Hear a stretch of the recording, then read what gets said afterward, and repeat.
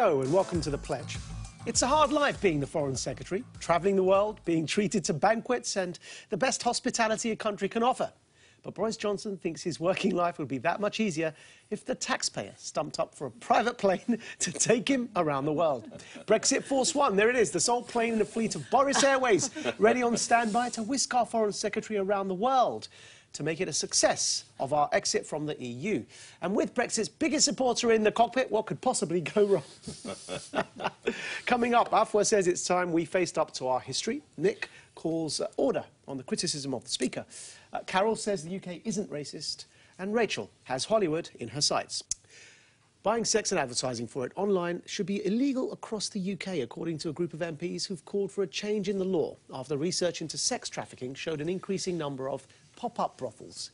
But many sex workers say that criminalising the purchase of sex will leave them more isolated and make their jobs more dangerous. The number of women who are trafficked in the sex industry is said to be only about 6%. Now, let me be clear.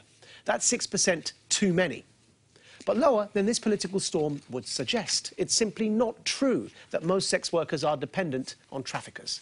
Uh, it's thought the pop-up brothels are emerging because police keep raiding and closing regular premises. Sex workers are being forced to move on. Banning a behaviour for which there will always be demand only serves to send it underground, which is precisely what empowers traffickers. This war on sex is even more futile than its twin, the war on drugs. It's time for the UK to regulate its sex industry.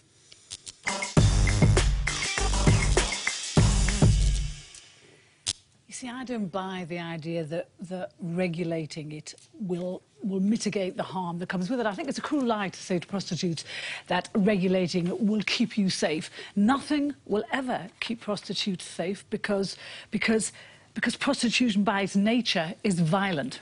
And, and I think it would be how can any civilized society, any society that calls itself civilized, want to want to regulate a profession that is all about violence against women? You know, this is you know, this is not a challenge.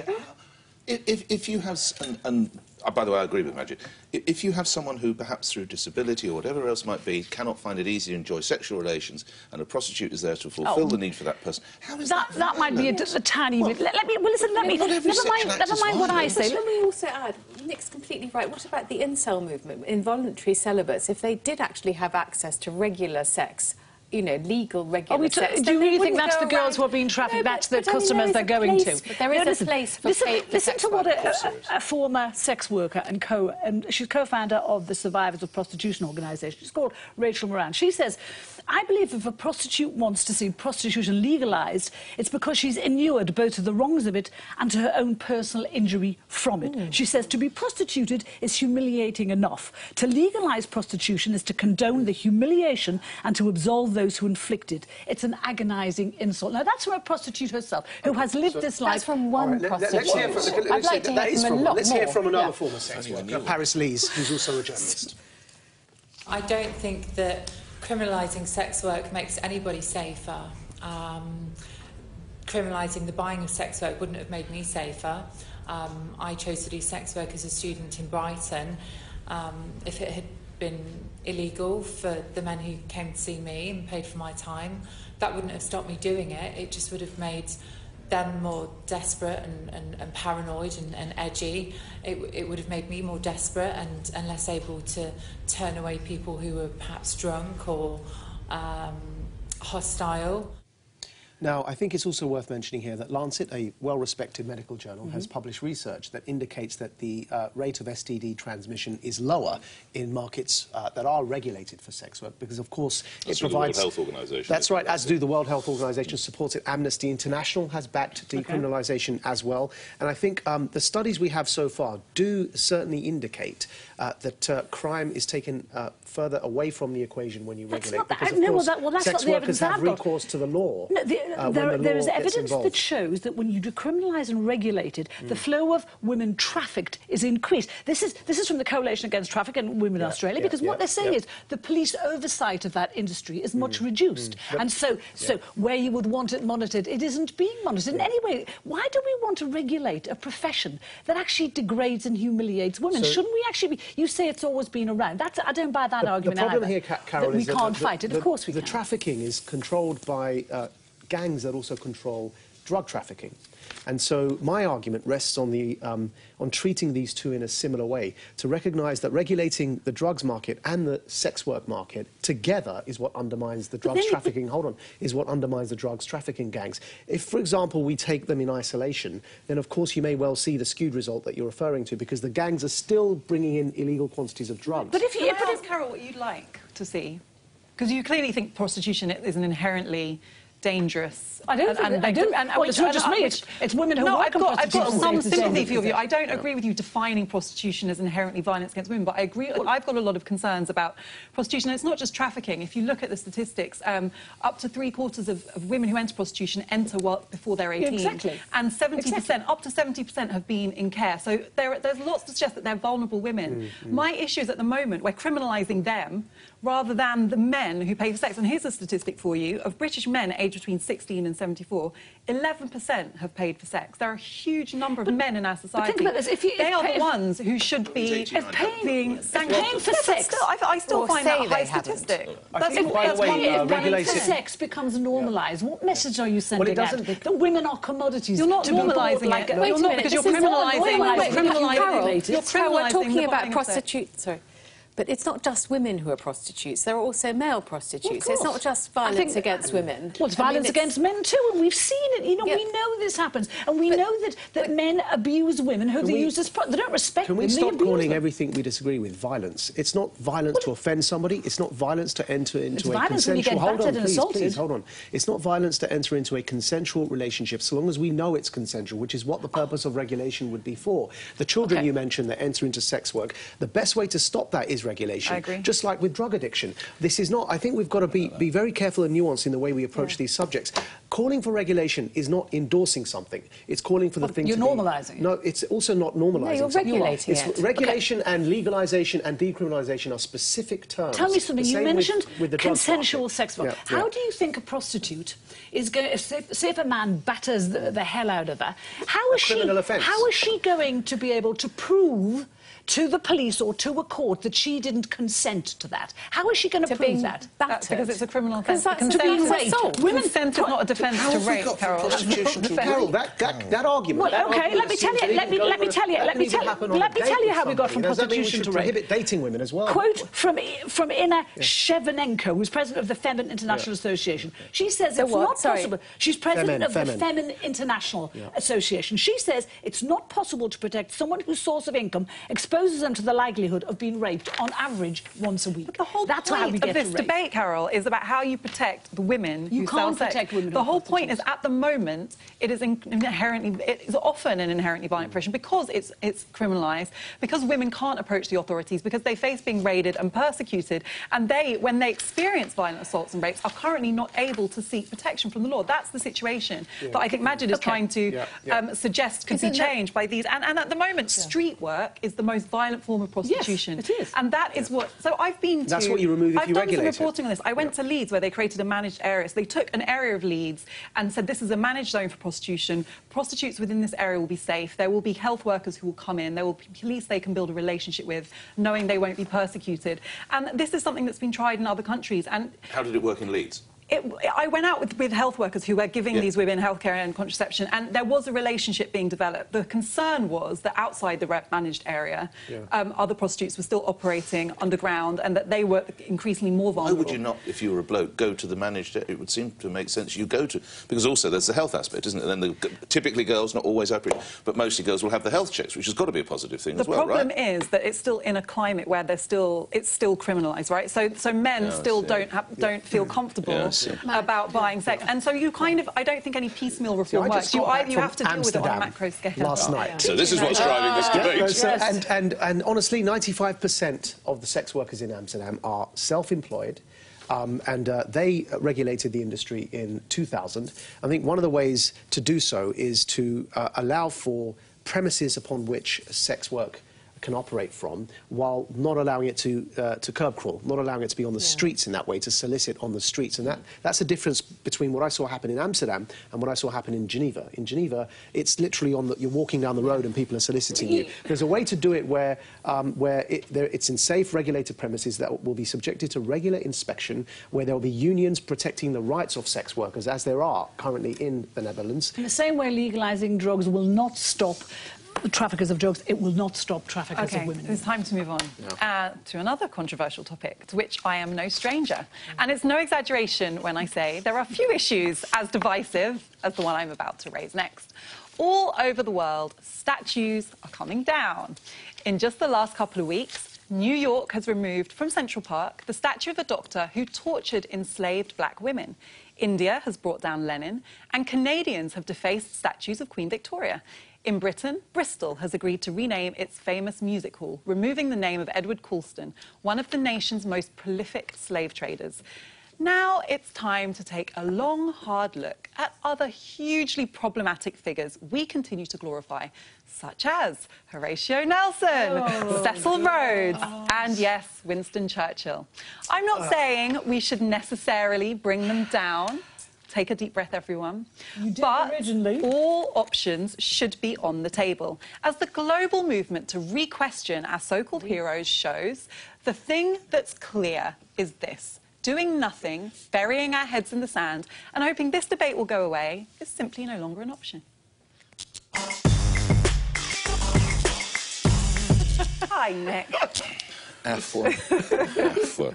I really like you, but I wonder if I can remind you of some words you wrote concerning Britain. please do. Britain. We have moved on from this era no more than the US from its slavery and segregationist past. The difference is that America is now in the midst of a frenzied debate on what to do about it, whereas Britain, in our inertia, arrogance, and intellectual laziness, is not. I don't write I lo- half bad, do I? Well, you could have been a bit snappier, but I won't worry about subbing it. Um, I'm delighted you. Why do you stay in this country? If you take such offence when you see Nelson's column, if you take such offence when you hear Winston Churchill's name, who I would argue, if in the unlikely event that anybody want to have a poll, I would say probably 80 to 90% of mm. people would say that Winston Churchill did a good thing. I'm delighted that I see you at these Thursdays. I'm delighted you up to stand. But if it offends you so much, how do you manage to stay here? That's, I find that a really strange thing to say. So there's nothing in Britain that bothers you. Sure, but I don't So want to why, it down. why is leaving an option? But I don't want to this is my country. This, and the reason that I raise this critique But is not it's so because I of your- hate Britain. It's because I care about this country. I actually care about our honesty, our ability to move forward into a progressive future. I care about it. Otherwise, I would just leave How and leave it it to you lot. how is it honest to decide to bring down Nelson's column or to do away with the Churchill war rooms or to change I'm the not- name of a concert? Is that the biggest problem that people who have, uh, uh, non-white people have in Bristol? The name of the town hall or the concert hall or whatever it is? That's their biggest problem? Actually, it is a big problem. Really? Do you know why? So you know, I'm a black you know woman why? in Bristol and I'm concerned No, about Colston Hall. There's a councillor in, in Bristol who I was talking to recently um, called Cleo Lake, who is of West Indian heritage, and her school was named after Colston. And every day they have this celebration where they celebrate Colston. and Every when day? She, every day, every year, they have a big Colston Day. Sorry, that would that would be a lot. Well, even I might say, There you oh go. gosh, yeah. And she was telling me how when she found out the history, she felt it to her core and she raised it with her teachers. And she said, so wait, just let me finish. yeah. Why do we glorify this man? He was the kind of person who sold and enslaved Before and I yield to my Maajid, before- and they I'll- wouldn't, they wouldn't I listen just- to her. And that affected, I- I- that affected her to her core. It affected her education. It affected her confidence I must just ask you this before I yield. that was being Afua, denied. I would imagine you're in support of statues to Gandhi. No, not necessarily. You don't in want a fact, in Ghana, which is where my mother's from, they've removed Right. Gandhi Nelson because he was racist. Are we happy with statues? Well, it's funny you should say that because I made a documentary in which we questioned Nelson Mandela as well. That's not the Right. question he asked, though. No, can I, no, can I, Mike, come in can I just make this Yeah. clear? So Because you're all, we- I know what you're all stay going in- say. in I Square? am saying we should be debating the way we look at history. you said more I'm not that. saying only white men. Why- I'm saying history I- in I- I general. yield. But it just so happens that a lot of white men did a lot of bad things we never talk about. been waiting patiently. We Um, only talk about. Well, I, I, I'm really curious because let's take Churchill. I mean, uh, you know, obviously, a lot of the controversy around Churchill's historical record applies to what he did in South Asia with the Bengali famine and so on and so forth. And I don't think it's uh, anyone here is suggesting that we remove references to that in history. I think the question is when looking at historical figures, uh, what we're celebrating about them. For example, if they happen to have saved our very civilization then there may be something worth celebrating for. What I'm really confused at, having you know, coming from the heritage that should be offended at Churchill's record in South Asia, I can recognise he saved our country. What I'm really confused at is when we spoke about Winnie Mandela, and I raised the issue of the fact that she was a, a fan of necklacing, a fan of burning, Just explain what That's necklace burning is. by the people, way, burning people to death. Uh, for, uh, on the mere accusation that they were collaborators in the shanty towns in South Africa. You were very happy to not only argue in her defence, but write a column defending her legacy as somebody that fought apartheid. So shall I explain? I, I, you've explained it before, so allow So me to. st- so? I know, but allow me to allow me to tell you where I have a problem with your explanation because that'll be more concise. You can respond to it. You, you talked about power structures and how you're about tearing down power. I'm not And about tearing down power, I'm I about imagine, correcting on, the yeah, record. that- yeah, I'm about correcting the record, rebalancing right? the But, narrative. but actually, in South Africa, Winnie Mandela had all the power, and those people she burnt to death had no power She had all and the no power defence. when she was arrested and held in solitary No, no, no, isolation no, by no, the apartheid no. authorities. How you're was she straw manning? We haven't got not time to debate that. Winnie I'm talking about Okay. the fact that she was burning people to death. She they had no denied power. that, and actually the victims never- who she's this is- alleged this to is about women And then getting off just, topic. just before we move on, let's just hear a clip because this is exactly what we're talking about, and then Carol, you will come in. Okay. Uh, this is from a documentary I've made on Yeah. this very subject, which is going out on Channel 4 next week. This is probably the place where you can best see how Britain thinks about its military history over the last few hundred years. It's the great, glorious imperial history. What is interesting, I think, is how unquestioning it is. It's just, we won, here's the monument, good for us. There's no mention of the victims on the other side, and there's no thought of who caused all this. That is not some loony lefty, that's Neil MacGregor. So, there, and, and historians agree that we have erased a huge part of the Historians Okay, can we, agree. can we let remind Historians don't agree be- on anything. Yeah. I agree on Statues can be a reminder of our past good and bad. Let's talk, you know, briefly about, you know, and, and statues are, they're, they're not always built to comfort or console mm. or to honour. They can, they can be a salutary warning. Now, you know, there's nothing about the Confederacy that was noble. Its raison d'etre was slavery. But there is something, there is something very noble and necessary about a free people preserving its history and knowing who they are, where they come from, and how they should be living now. And I think that's really important. Statues don't always glorify people. However, in the case of Churchill and the case of Nelson, I think they absolutely should. And I think, as Nick says, so. 80, 90% of people in this country Yeah, would. yeah. So, so, but I just, I don't, I think some of the Confederate statue. Let me, can I just read you a quote from Oliver Wendell Holmes Jr., who said in 1884, he said, "I believe from the bottom of my heart that our memorial halls, statues, tablets, tattered flags are worth more to our young people by way of chastening and inspiration than the monuments of another hundred years of peaceful life could ever be." I think that's absolutely true. A statue doesn't have to be pulled down; it can be there as a change. The key to what I'm saying, uh, before you say this, Rach, just because I feel like you both have said something and I haven't had a chance to correct it. Well, I am saying, what- what I'm talking about is correcting the record, right? So Maajid, you said... You don't have to. No, Maajid People know their history. Maajid mentioned the Bengal famine. Our How many British people, Look, wait, how many British people do you think know please, about can the I have Bengal a go? famine? No, no, no. Yes, come in, Look, come in, Rachel. You cannot correct and change the past. It's not changing the past. It's the pa- changing what we say about it. We don't know about the past in what Britain. we say. That we don't know about the past. Afua, the, point, the point is, is that this is where we are. This is how we have got to the point we are. We can't go back and delete and correct This is the opposite according to I'm today's Rachel. norms and today's morals and today's thinking. Teach it in the fact- schools. That is the What- opposite your of what I'm the saying, problem is- No, you, you're not. You're, you're saying that we have to make the past appropriate to the saying- present. that is the we opposite can of what never I'm saying, do that. the absolute opposite. Yes, you are, because No, you're saying we must saying. question the fact that we're putting on a pedestal What the men that I'm that I s- now, we now find reprehensible. And the reason for in questioning part. it is because we're looking at their past. Now, listen, Well, but if we wait, talk about, hold we on, talk Afua, about please, can I we talk about him winning Afua, the war and saving us from the stop Nazis, it and we talk. second. Just let me finish because you are. You've got a you documentary have just going said. on. I can just say one You just said thing. the opposite of what my Let- argument let is, Rachel Rachel. just finish her point. Rachel's My point is is a this: I, I find it deeply. I am as liberal as the next man. I find this deeply upsetting and also almost insulting. That's because you misunderstand No, what I'm saying. not, and I fear that you're taking this country down the path of when ISIS goes into Palmyra and knocks down temples, goes mm-hmm. through rampages that's through brilliant. museums Or like in what- Mosul. or like what because- Britain did in the because- Empire, destroying No, people's statues and histories and palaces. you and cannot decide just because a culture has some unwelcome baggage that you dump the baggage because it's no longer useful on your journey. Can I speak we now? have the baggage. Can I speak now? I want to say something. Right. First of all, I'm not saying, and I said clearly in my intro, we should necessarily take them down. This is what I want, a debate. And the reason I want that is because we don't Leading have it, where? Rachel. And the, re- you know, the reason this is not a... I am the opposite of trying to erase our history. I want us to know our history. So when we look at Churchill, I would like people to know about using aerial policing in Mesopotamia and not distinguishing between civilians.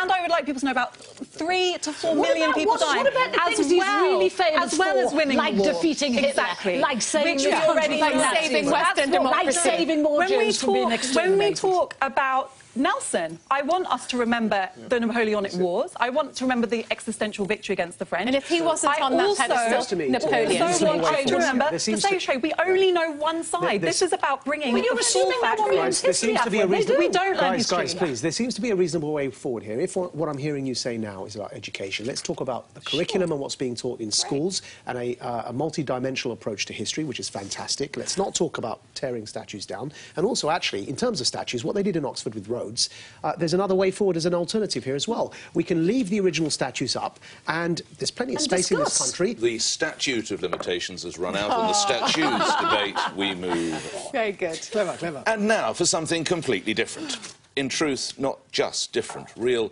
knock me down with a feather and call me Nancy, unblooming believable.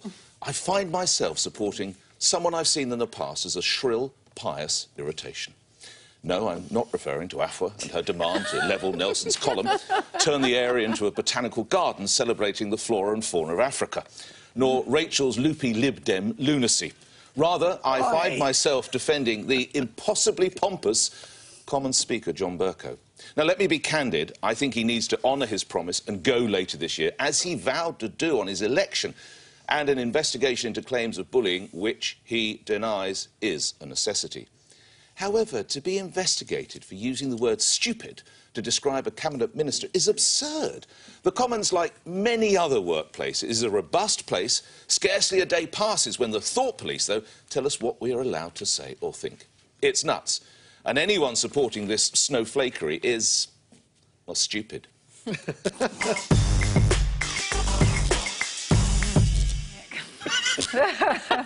Um, I actually have.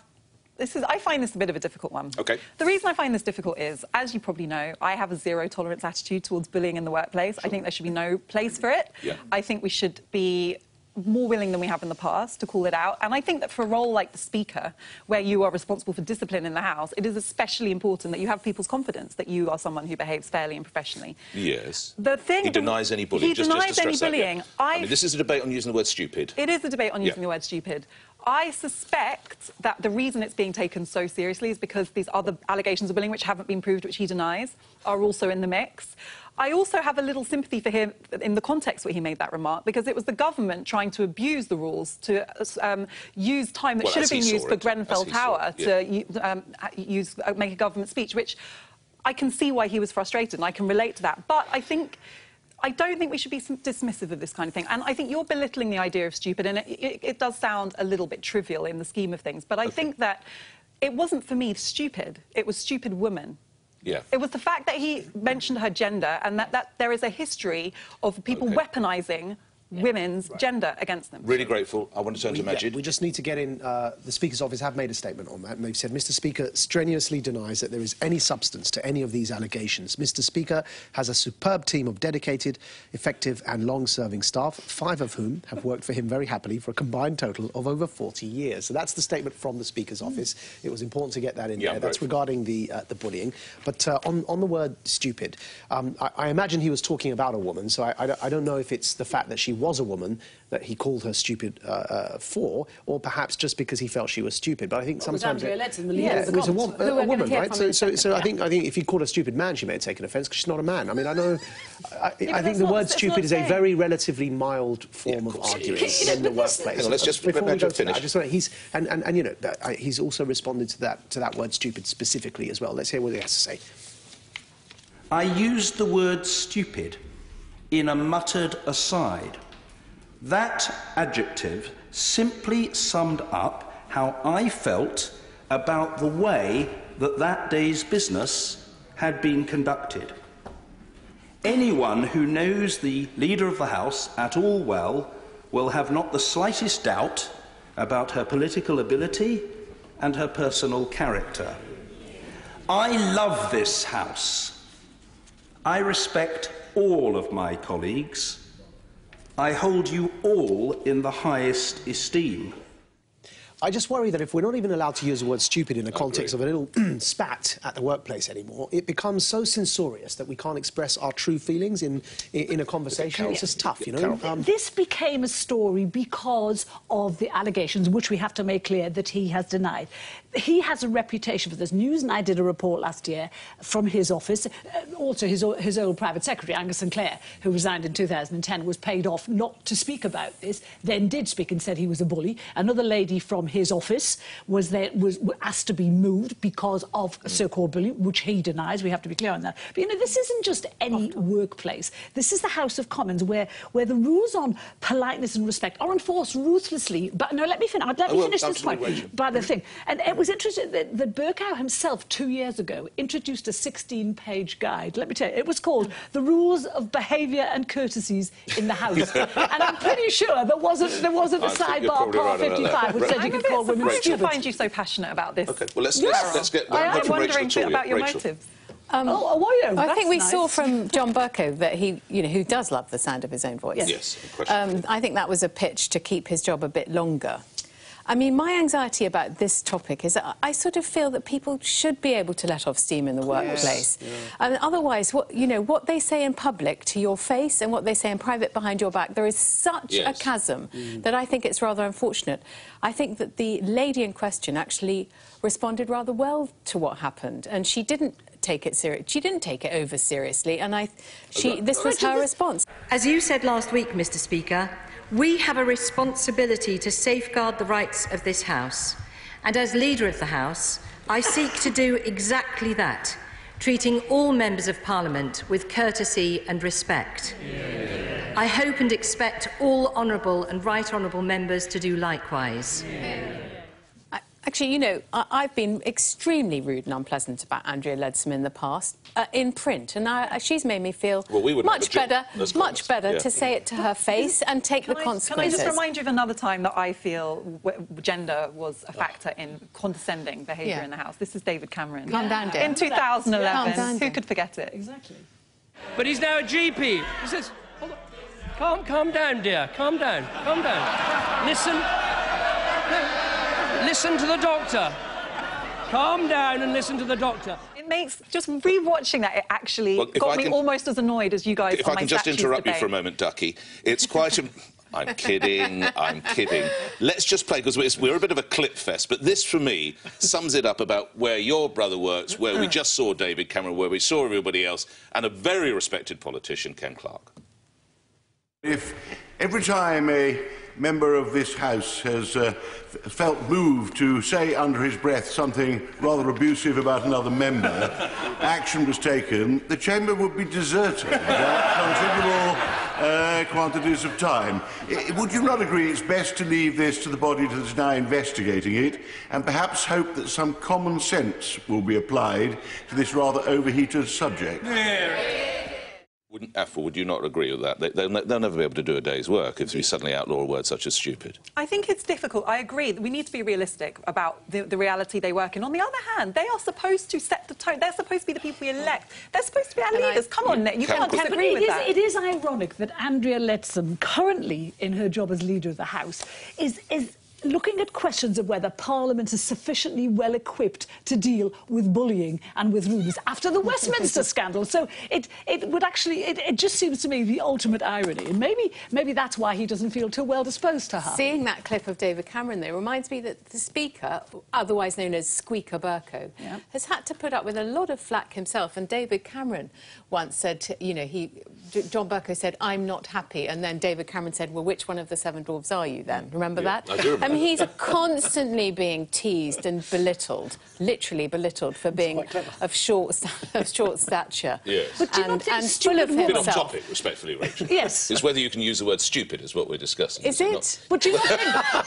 oh, there, there aren't But you and I, as columnists, we would never, we'd never be able to put a column out if we can't. We're going to be fairly Of course not, scathing but yeah, about Taking all the colour out of language, guys. Come Yeah, on. agree. That's Yeah, what we're doing. You're we're making not- no, but everyone stupid bland woman, no, my point was- Stupid Dave- Or man, John it just happened to Bercow- have been a I woman. And John Bercow Magic. has been driven to, to be to irritation himself because he's constantly being teased about being little. Yeah, so yeah. when he says stupid woman, well, you know, Well, he is sometimes people blow he is little. You can't dispute Yeah. that, but she's know, not stupid. But she's a woman as well, isn't But- she? And she's not stupid. So But if someone acts in what you perceive to, if for instance every time Maggie went on air at our radio station, he kept saying the wrong station or something like that, I'm perfectly entitled to say he's a stupid bloke, you know, he really is. He can't even name the radio station, and he's not going to take offence at that because Yeah. he's stupid not to do. Is that Especially if I said BBC instead Well, that of would- LBC. that would really kick that would really off. wind him up, the, wouldn't it? the other thing he's alleged to have said but denied was a lot worse than that. And you know, and I can't say it, but the other thing he's alleged to have said, so it wasn't just something But that the he said in investigation is about stupid woman, and, and that's, well, that's, is, what, yes, that's what it turns yes. on. If we can just pick on, which I think was actually one of the, the brightest points of the debate, when Maajid says, it's rare for Maajid, let's be honest about it, um, that you'll take all the... Patronising behaviour in. Who would have thought? You'll take all the colour out of the language. You will effectively have to. That is true, is it not? That's what people said when you, you know, when racial slurs stopped being acceptable in the workplace. No. Oh, you can't have fun anymore. It's just have not No. like like, in the Well, certainly I didn't. 60s. Language was normal, which now we find completely unacceptable. And every time it's You're killjoys not and the putting political stupid on the same level as I'm N not. or P, But do you know what? you? As I've said, You it wasn't did. stupid for me. Well, it was the you just woman. did. Just- no, I'm you not just comparing the word. You just said stupid is like I'm the not NLP comparing word. the word. I'm comparing oh, the idea just that if you if you have rules about what it is and isn't acceptable to say, then you can't have fun at work anymore. I don't. I just don't buy that. Right, it's me up after the break, and I'm saying we're not a nation of racists. Thanks.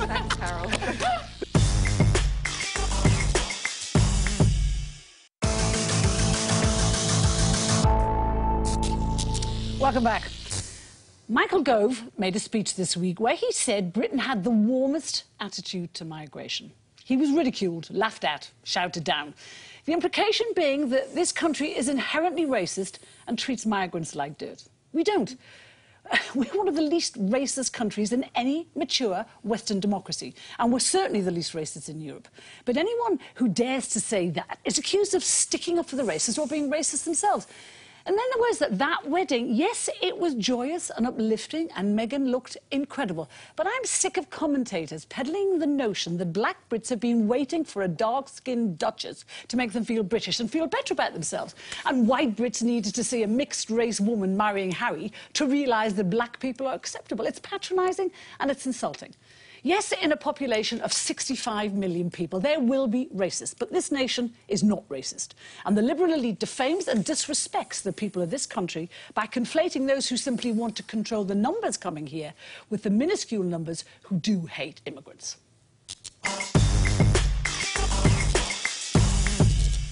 Carol, I don't, I don't disagree with all you've said. Um, but, and I'm going to leave, um, I think, Meghan Markle bringing mixed race blessings onto our country for, for someone else. Because what I, want to, what I want to talk about is the fact that it wasn't what he said, but the fact that it was Michael Gove who said it. And Michael Gove fronted the Vote Leave campaign, which didn't have a dog whistle when it came to anti-immigrant sentiment. It was a loud clarion call. There were posters um, th threatening the arrival of 76 million Turks into your village, and I'm, you know, they terrified me, and I'm part Turkish. The, you know, the fact is, is that he stoked fear of immigration throughout the campaign, and now to say come in, the water's lovely, everybody, we are warm and, but not a hostile and cold environment is frankly very rich because since the country voted to leave, as he suggested in those posters, there's been a spike in hate crime. But worse, our own Home Secretary, who is of Pakistani origin, yesterday gave a speech in which he detailed the anti immigrant abuse that his brother gets on the streets, people shouting Paki at him. And this has happened since he's, you know, in the, in the recent times.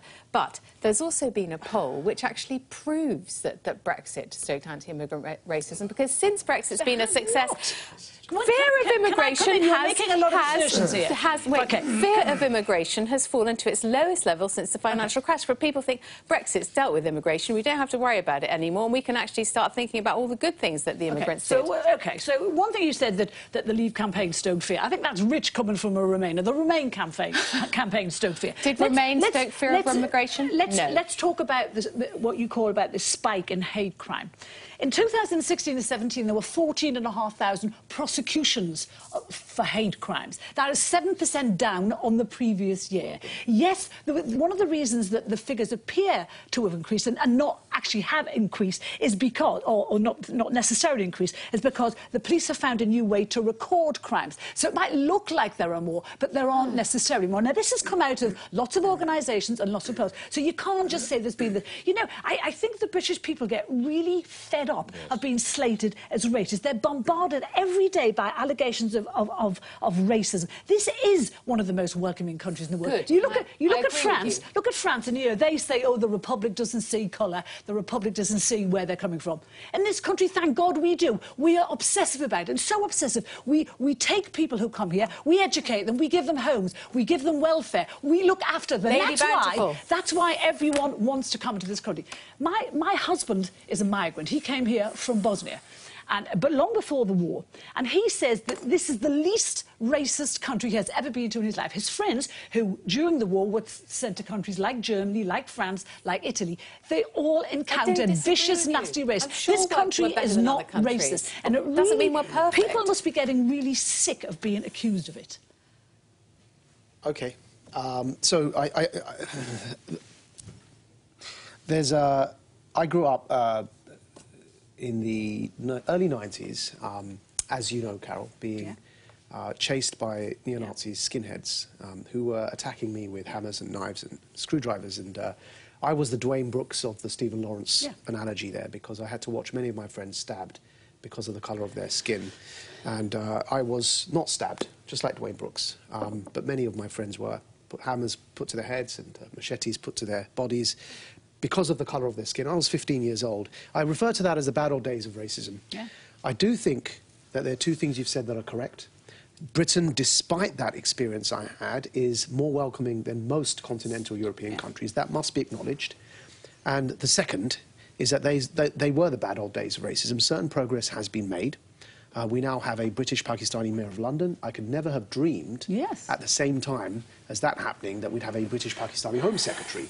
I think it's important that we acknowledge and give credit where credit is due. Otherwise, when we do raise serious concerns about racism, uh, that is re-rearing its ugly head across Europe, yeah. uh, that those concerns aren't taken seriously if we keep crying wolf. So I try very hard to give credit where credit is due.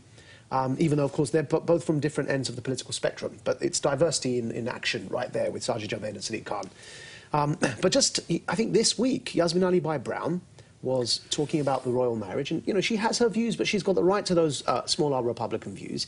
And Nadine Dorries yeah, she responded. said be nice. Oh, yes. No, she didn't say be nice. Oh, she said more than that. You should be Carol. grateful. She said she actually implied that Yasmin should be uh, uh, grateful and stop complaining because this country has given her everything. And I, I just find that I find that this approach to, uh, to, to basically telling people that are of colour who have some uh, criticisms that they are political criticisms, whether at the monarchy That's or the system. What Just, was saying. Yeah. No, no, no, yeah. I'm talking about Nadine yeah, I know, but that, I don't know necessarily. why, I'm, should... why I'm saying we have to be vigilant is because it can rear its head yeah, again. I wouldn't derail Carol's argument because of what Nadine Dorries says in one tweet. The broad thrust, or the central point of Carol, is that this country is very welcoming. I agree. If we look at the last names, there's three of the panel sitting around it, there's a clue that it probably is. There's no dispute there. Yeah, yeah. All I'm saying is we need to be vigilant that it doesn't rear its head again because in continental Europe at the moment it is coming back. laughed at and ridiculed for saying that? People, people were saying, you know, hey, he's got his head in the sand. He's not saying stuff. I agree with the content of his speech, like Rachel. I agree with what was said in terms of the content That's of the words. Kind of I hate identity politics, but I just think it's unfortunate that he was the guy that said it because of the Brexit campaign.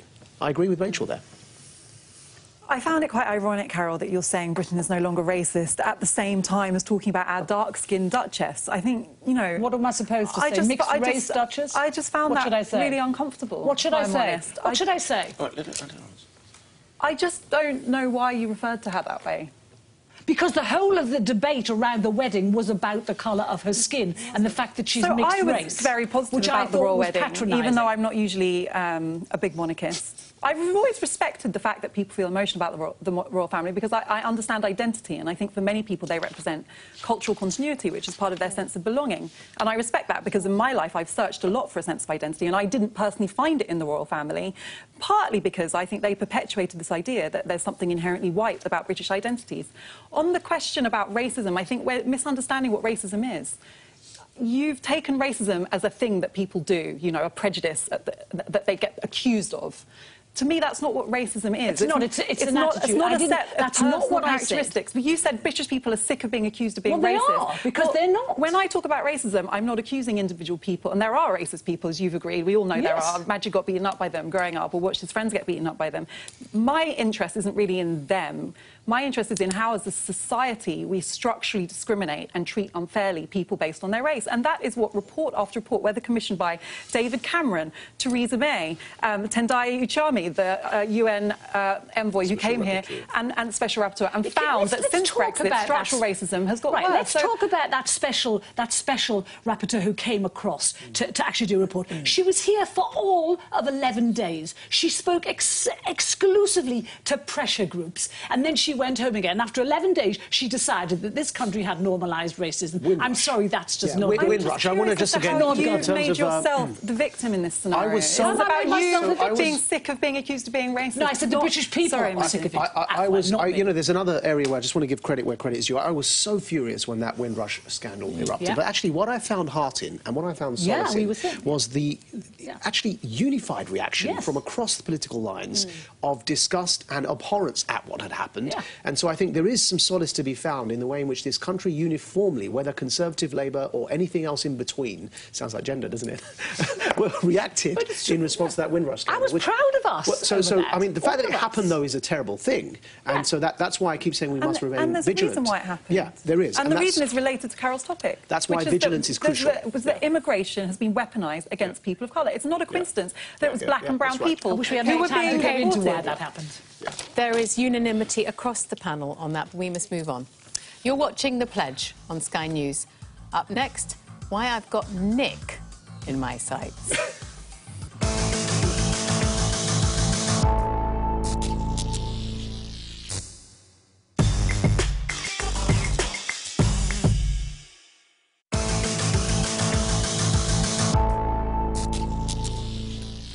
In the Bond franchise, women exist mainly to have sex with 007, then die a violent death. No longer. Now the heroes of the summer season of spy capers and thrillers are heroines. Maybe soon we might even have a villain saying, Bond, we've been expecting you. For your eyes only, darling.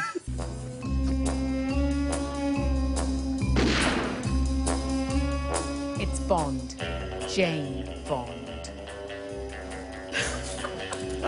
Inevitably followed by a mini furore, which is what must happen whenever a beloved character has their ethnicity or gender changed by a new casting. A non Latina actress has withdrawn from playing Maria in West Side Story. Hermione Granger in the Harry Potter play cannot be black. What nonsense this is. We've always had fluid and creative casting since actors first trod the boards in ancient Greece. Make believe is at the heart of theatre, not political correctness. Of course, a black woman can play a white man in Shakespeare, as I saw in Julius Caesar at the Bridge, and vice versa. Idris Elba would make a fantastic Bond. Colourblind and gender-blind casting must cut every which way. That's showbiz now, folks. This is fascinating. Um, and uh, what I'm about to say, as long as it doesn't get me shot by the gun you just have there, Not by Jane that, Bond. Maajid. No, Hamlet at the Globe have adopted a gender fluid cast. Um, uh, Noma uh, uh, Dumezweni, who played Hermione Granger in the Harry Potter stage production, of course, as you mentioned, was black, and many fans assumed that Hermione was white, leading to a J.K. Rowling intervention on social media, telling her fans that all she stipulated was that Hermione had curly hair. Of course, Noma went on to win the Olivier Award for that precise production, and so, of course, it can be done. It's fantastic. Not in Bond. When Elba, uh, Idris Elba was suggested as Bond, of course, Anthony Horowitz said he was Why couldn't too Idris Elba street. play No, no, I have no problem. No, a woman is A what Yeah, I'm uh, woman so I'm going to say Okay. before, No actually, problem. so, Ah, uh, okay. b- b- before I just want to say before I uh, open up to why people don't think it can be Bond or not, I just want to. Uh, there, there is a caution that I would advise all of us to keep in mind, and that is that there are uh, there are un- there is underrepresentation going on actually Sure. on the stage at the moment, and as long as this is done in a way that doesn't further that, colour blindness and gender blindness should be the ideal. But if it, and it is the case at the moment that only 30 percent, 37 percent of main characters in Hollywood productions are women, and out of those 68 percent are white, Yeah. then we just have to be a bit concerned that this, this is done in a way that still results in equitable and fair representation. So if, if a role was specifically written for example, uh, for a person of a certain specific gender or uh, ethnicity, um, then it would probably be just probably be make a bit more sense in the current status where we have underrepresentation to try and cast for that role first to see if you can find the actor. Rachel, it's a fantasy. It's a What- film. what's a fantasy? It's more than 50 years old. Every man wants to be with Bond. Every woman wants to be with Bond. That is the whole idea. every man he wants has to the be phys- every man. I'll maybe do that again. every man wants to be like James Keep Bond. Every woman wants to be like that with James Bond. This is a man who has the physical strength to fight off half a dozen KGB agents, then jump in an aircraft, then have a little bit of ladies and gentlemen under a snow rug with some beautiful woman who then gets poisoned by a crazed Korean assassin. It just goes like that. Much as you support, it's like a statue. Well, let's accept that it was written at that time. Bring I don't give a down. damn whether he's white or whether he's black, but you cannot have a female Bond. That's part of the fantasy. And lastly, a bloke looks at Bond and thinks, God, I wish I could fight like him. I wish I could play golf like him. I wish I could fly an aircraft like him. I wish I could have ladies and gentlemen like him. And that's why it can't be a woman. I'm glad you pointed at me when you said looks like Bond. That is I- probably the take most the compelling case I've heard so far for what Rachel's arguing. I mean, really, like you've just brought back the 1950s. That's where it's set. No, That is That's not everyone's fantasy. that is the whole To go back to a time when your greatest aspirations as a woman is that you might get under those fur, Yeah. those those those Yeah. uh, under furry uh, sheets that's or right, whatever an- it an old leopard or something. Uh, let me tell you about Leo Wringer. Leo Wringer is an actor who was cast in the Royal Shakespeare Society production of The Fantastic Follies of Mr. Rich. Uh, he's a great actor. I've seen him in action myself. Now, he was on the receiving end of a review by none other than Quentin Letts, my old friend, who said that Leo Wringer is too cool, too mature, not chinless or daft or funny enough. Was he cast because he's black? If so, the RSC's clunking approach to politically correct casting has again weakened its stage product. I suppose its managers are under pressure from the Arts Council to tick inclusiveness boxes, but at some point they're going to have to decide if their core business is drama or social engineering. There's more. In the, and then Leo Wringer replied to that, saying, and this is, I want you to listen carefully. In the early years of my career, he said, I mainly witnessed actors of colour, like myself, in stereotypical roles such as servants and criminals, rather than leading parts. Let him finish. There was never any casting that could be considered as inclusive. Let's made an extended and unforgivable racial slur against me and my fellow actors Listen, of take colour. one sentence. And I agree. I, so do I. This is about a woman playing Bond, not a black. I have no problem with a But black Rachel's fella being argument Bond. is about No, it's generally- Jane. But read the title. It's Jane. Okay, there was a cute little stunt, but that, the I general argument was about gender ar- and race I think you've all mis- misunderstood my argument. I slightly disagree with Madge as well because I don't think you should necessarily cast the person who. f- Uh, you, we want the best person for the part, whether they're black, white, And male, why or No, we're- female. that's where you're wrong. No, I'm not. white, yes. Leave blonde, leave Bond aside. but what we Why want, are you dressed like that. Hide the gun, right? no, but the- I agree. And the know, point is, Leo Wringer was cast in that role Oh, because he was the best the words. actor. He was the best actor. It's not Exact- race. Just cast the best person, which Exactly. is why if you want to have a white person playing Maria, if she is the best person and she's not Puerto Rican, she should be allowed But to play the that. role. The problem What with that is the problem? is that, is that No, actors I, want, I remember Goldfinger. In. have historically with been her, overlooked. I kind of, I thought that woman was very gracious, Sierra uh, Boggess, I think she's called. I thought she was very gracious. She stood aside. And she said, as an artist, I should have realised that that role should have been Natalie filled Wood isn't by... Puerto Rican, Well, yes, she I know, but played the role in the movie. But, but no, but my, my point is that, you Uh, know... Actually, this is our- really, you, so you agree with that then? That's really good. no, That's with, interesting. with, yeah. with, with, so, yeah, with, with things that are, if, if a Latino, if it's a story about a Latino, Female get, a- get a Latino, because there, there are plenty of Latino actors and actresses around. But you know, my, my general point on this, our, our is the theatre manager's job to give us good drama or to, or Yes. to be socially engineering, and that's It's not what this is all about. engineering. You You're talked quite about a right, clunking Carol. approach. You're This is a clunking right. approach to diversity. Hang on, he's got a problem with Why gender, would you you've got a problem with race. Why would you have a woman playing a man when there's plenty of blokes around, and vice versa? Why would If you mess with that? theatre, It makes you might wanna do headlines, that. You might wanna do that. But my, but my in the issue is the assumption that if you cast a black person as Leo Wringer was cast, the assumption by Quentin Letts that he was only cast to be politically correct. Ah, the assumption no, that it's not just no. because he was the best person, which is the Royal Royal Shakespeare Society said we But cast we are, him. but that he is was right. the now best trampling That- so on that is Rachel's historical- point. We're, we're, we're trampling on historical accuracy with a lot Yeah. of drama. In that thing, Troy. drama. Okay, th- that, yeah, but it's supposed to be convincing. In that thing, Troy, the rise and fall of a city. Yeah. They they cast parts of supposedly Greek blonde, blue-eyed warriors. They cast black men in There that are realm. loads of Africans in ancient Greece, uh, Carol. What's this got to do with But- but Jane Bond? playing- I'm confused. It's a bit more. You, you missed the plot here. My point It's is a bit very more. simple Gender one. fluid we're talking about. Gender fluid. If- if, Arguing for if meritocracy, a black basically. man can play a white woman on stage, which is what we're seeing, I saw Julius Caesar where Casca was played by a black woman. He was a white man. I, I, my argument is a white Why- man should be do able to play a black woman. It's got to cut both ways. We can't sit around and say we have to cast a context. So this according is to the race. Ideal- no, you've got to do it. This is the It's ideal black scenario. actors Quality. have historically been overlooked. Yes, and I know. film and theatre What do we do about that? They have no not been I agree, I so agree. if you now start giving the few roles that were designed for them to white actors, you're not achieving the that- desired that's theatre, that's showbiz. Nick just know, I wants to talk about I Bond. He understand what you you know, say. he only cares Jane, about I've watched all the movies. Okay, right. Before we, we go, there's just time for this. No bride wants to have their thunder stolen on their wedding day. But just as Pippa Middleton stole some of the attention on Kate's wedding day, Meghan Markle also had to share the limelight last weekend. Before he got to his feet, nobody had heard of Bishop Michael Curry. But his sermon ended up being one of the most memorable bits of the whole day. And let me tell you something. Old Solomon was right in the Old Testament. That's fire. They are Deshadan, and with this, I will sit down. We got to get you all married. Loved it. Bishop Michael Curry, you are our undisputed straight talker of the week. He, he went on a of- bit. He he did go on a I'll bit. tell you what, he- He lost me at fire. That was the shortest Chris- black he lost church sermon. I've ever heard. I was. I, goes- I, I tweeted at the time he brought Christianity back into Christianity. That's what he did. Yeah. No, the worst thing he, was, a saying, true Grace, at the reception, they never got the food out. Fire and brimstone. That's it for this week, but thanks for tuning in. And don't forget, you can join in the debate by searching for The Pledge on Facebook or Twitter. See you next time.